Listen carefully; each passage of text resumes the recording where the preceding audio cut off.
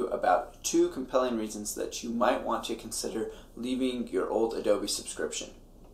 You know, about nine or ten months ago, I did a video when Affinity Publisher first came out and talked about whether or not it was time to leave Adobe because there was now a viable suite of apps for designers that included a layout editor, a vector editor, and a raster editor.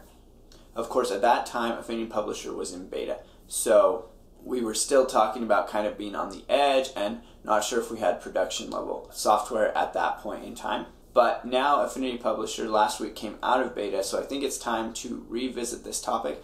And I want to talk about two compelling reasons to switch. This is based on things that I've learned a lot in the comments of that video, a lot of things that I didn't know before. And it's also based on what we've seen from both companies on the last about six months of time. And the first thing I want to say is I'm not talking about price in this video. Okay, we already have gone over that. We know that switching will save you quite a bit of money switching from Adobe, but there's always been reasons to stay with Adobe because you needed the industry standard software and you could stick with it at that price, even $53 a month US or more elsewhere in the world. It still made sense lots of times to stick with it because you could make the money there. But now I think there are two reasons to really consider switching at this point that don't have anything to do with price. And the first one is going to be software integration.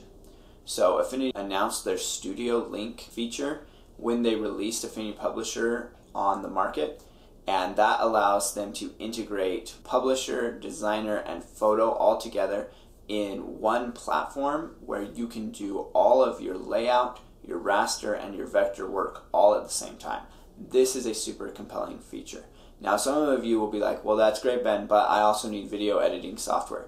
Okay, when I made my video nine or ten months ago, I actually didn't know anything about DaVinci Resolve. I didn't even know it was a program that existed.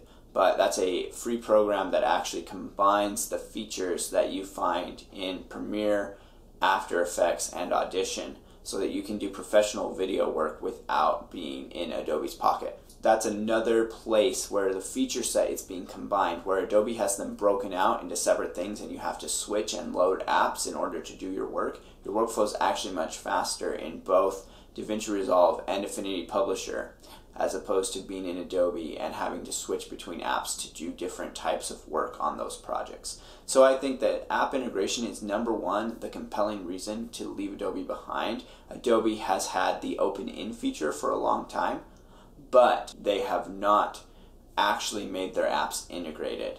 I think that has a lot to do with historical reasons. It has a lot to do probably with their code base that is in desperate need of being updated. And so that is just a good reason to consider switching over if you can. The second reason that I want to talk about goes kind of along with that and Adobe's old code base and not being committed to new features, and that is mobile development. And Adobe has released a number of mobile apps, but they have not been very good. We've talked about this before, but they just have not shown a commitment to developing on the mobile platform or even for the iPad Pro even though the iPad is totally capable of professional level work. And so last year, Adobe announced that they would be bringing Photoshop to the iPad Pro in 2019. We are halfway through 2019 now. We still haven't seen Photoshop come out, and we really haven't seen any news on how it's going. They did just release a video, a short teaser video about Adobe Fresco, which is supposed to compete with Procreate. But Procreate is already so good on the iPad Pro, I just don't see a lot of people switching over to Adobe Fresco at this point. And we still don't know when Adobe Fresco will be released either, so it seems like Adobe just keeps pushing it back and back, whereas Affinity has shown a very solid commitment to making their apps available on the iPad, running at great speeds with professional level quality. And so I think that a lot of designer workflow and even my video workflow is moving on to the iPad.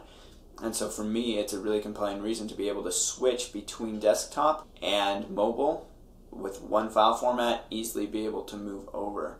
And so I really think that that is a compelling reason to make the switch to leave Adobe behind because Affinity has already produced Designer and Photo, which are the best apps in their categories on the iPad and they've said that they're committed to releasing Publisher there as well.